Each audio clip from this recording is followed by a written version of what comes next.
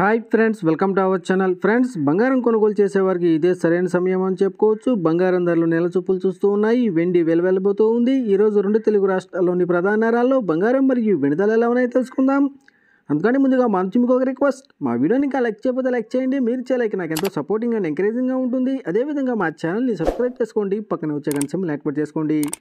Friends ఈరోజు రెండు తెలుగు రాష్ట్రాల్లోని ప్రధాన నగరాలైన హైదరాబాద్ విజయవాడ విశాఖపట్నాల్లో బంగారం మరియు వెండి ధర చూసినట్లయితే నలభై నాలుగు వేల మూడు వందల రూపాయలపై రెండు వందల రూపాయలు తగ్గి ఈరోజు ఇరవై రెండు క్యారెట్ల పది గ్రాముల బంగారం నలభై నాలుగు వేల ఒక వంద రూపాయల వద్ద సేల్ అవుతుంది.